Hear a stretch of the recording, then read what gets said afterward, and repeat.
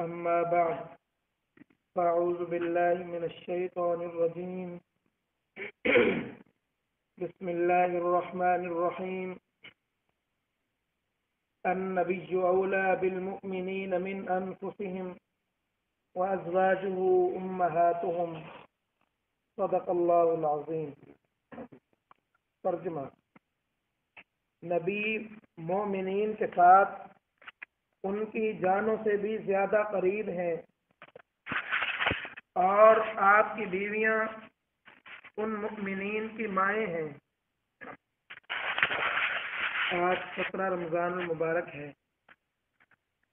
اور سترہ رمضان المبارک کو آپ علیہ السلاۃ والسلام کی بیوی اور ہماری امی حضرت سید عائشہ صدیقہ رضی اللہ تعالی عنہا کا یوم وصال ہے۔ حضرت سید عائشہ صدیقہ رضی اللہ تعالی عنہ حضور علیہ السلاۃ والسلام کی محبوب ترین بیوی تھیں۔ آپ کے والد کا نام حضرت سیدنا ابو بکر صدیق رضی اللہ تعالی عنہ ہے۔ اور آپ کی والدہ کا نام حضرت ام رومان رضی اللہ تعالی عنہ ہے۔ آپ کی ولادت مکت المکرمہ کے اندر بیسات نبوی کے تین یا چار سال بعد ہوئی۔ یعنی جب حضور علیہ السلاۃ والسلام کو اللہ نے نبوت ادا کی، تو اس کے تین یا چار سال کے بعد حضرت سیدہ عائشہ صدیقہ رضی اللہ تعالی عنہ کی ولادت ہوئی۔ آپ نے ایک مسلمان گھرانے کے اندر آنکھ کھولی، کیونکہ آپ کی ولادت سے پہلے ہی آپ کے والد اور والدہ یہ دونوں حضور علیہ السلاۃ والسلام پر ایمان لا چکے تھے۔ اور آپ کا جو گھرانہ ہے، وہ پہلے پہلے مسلمانوں کا گھرانہ شمار ہوتا ہے، کیونکہ اسلام کی اس وقت ابتدا تھی۔ حضرت سید عائشہ صدیقہ رضی اللہ تعالی عنہ کو بچپن سے ہی اللہ رب العزت نے بہت سی خوبیوں سے نوازا تھا۔ آپ انتہائی درجے کی ذہین ترین خاتون تھیں۔ اور سلیقہ مندی اور معاملہ فہمی اور اس طرح کی دیگر بہت سی خصوصیات تھیں جن سے اللہ رب العزت نے آپ کو نوازا تھا اور جن صفات نے آپ کو کائنات کی تمام عورتوں میں بلند ترین مقام پر فیصل فرمایا تھا۔ حضرت سید عائشہ صدیقہ رضی اللہ تعالیٰ عنہ فرماتی ہیں کہ بچپن کے اندر ہمارا جو خاندان تھا وہ بڑا برکت والا تھا اور اس کی دلیل یہ دیتی ہیں کہ مجھے اچھی طرح یاد ہے کہ ہم پر کوئی دن بھی ایسا نہیں گزرتا تھا جس کے اندر دو مرتبہ یعنی صبح اور شام حضور علیہ السلاۃ والسلام ہمارے گھر میں تشریف نہ لاتے ہیں۔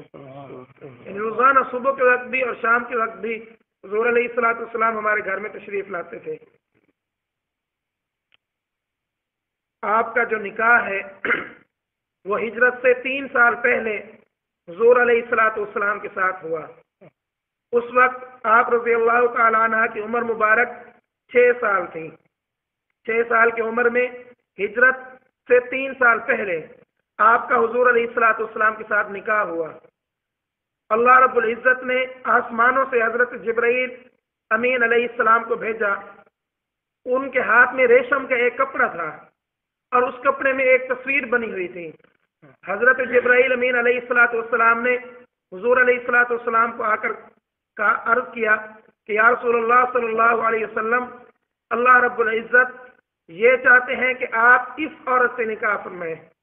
اور کپڑے کے اندر جو تصویر تھی، وہ حضرت سیدہ عائشہ صدیقہ رضی اللہ تعالی عنہ کی تھی۔ گویا کہ آپ کا نکاح کا فیصلہ خود اللہ رب العزت نے عرش پر فرمایا تھا۔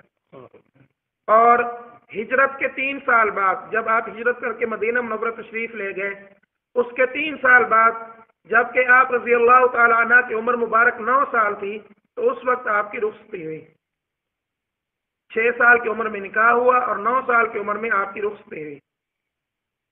حضرت سید عائشہ صدیقہ رضی اللہ تعالی عنہ کی جو گھریلو زندگی تھی، وہ انتہائی سادہ اور فقیرانہ طرز کی تھی۔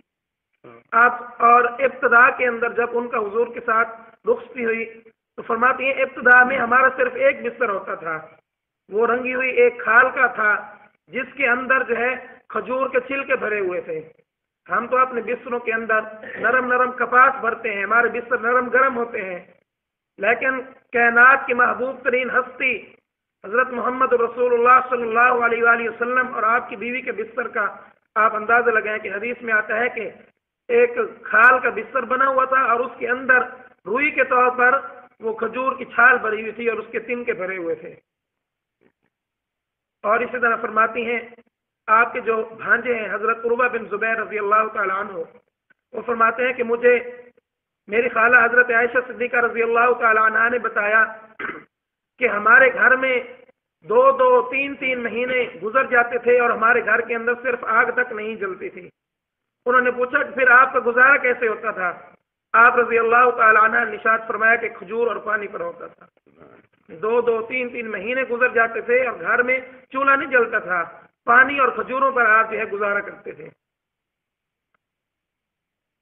حضرت عائشہ صدیقہ رضی اللہ تعالی عنہ نے حضور علیہ السلاۃ والسلام کے ساتھ نو سال کا عرصہ گزارا ہے۔ جب حضور علیہ السلاۃ والسلام کی وفات ہوئی تھی، تو اس وقت حضرت عائشہ صدیقہ رضی اللہ تعالی عنہ کی عمر مبارک اٹھارہ سال تھی۔ نو سال کی عمر میں آپ کی رخصتی ہوئی اور اٹھارہ سال کی عمر میں حضور کا نکاح ہوا۔ تو یہ نو سال بنتے ہیں جو آپ نے حضور علیہ السلاۃ والسلام کی خدمت میں گزارے۔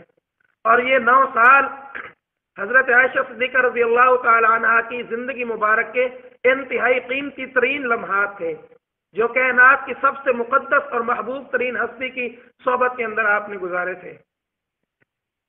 حضرت عائشہ صدیقہ رضی اللہ تعالی عنہ کو اللہ رب العزت نے بڑا عجیب مقام اور مرتبہ عطا فرمایا تھا۔ آپ کا جو گھر تھا، وہ نزول قرآن کا مرکز تھا۔ اور صاحب قرآن یعنی حضور احمد صلی اللہ علیہ وآلہ وسلم، وہ آپ کے خامن تھے۔ اس لیے آپ علیہ السلاۃ والسلام پر قرآن کریم کی جو بھی آیت نازل ہوتی تھی، تو وہ حضرت عائشہ صدیقہ رضی اللہ تعالی عنہ کے دل مبارک میں گھر کرتی چلی جاتی تھی۔ آپ کے دل مبارک میں اتر جاتی تھی۔ اور آپ کو قرآن پاک کے علوم پر مکمل جو ہے دسترس اور پوری طرح جو ہے اعتماد حاصل تھا۔ قرآن پاک کی تفسیر کے اندر، ترجمے کے اندر، اس کے شان نزول کے اندر، قرآن پاک کے اندر ہلت اور حرمت کے اللہ نے جو مسائل بیان فرمائے ہیں، ان تمام کے اندر حضرت عائشہ صدیقہ رضی اللہ تعالیٰ عنہ کو عبور حاصل تھا۔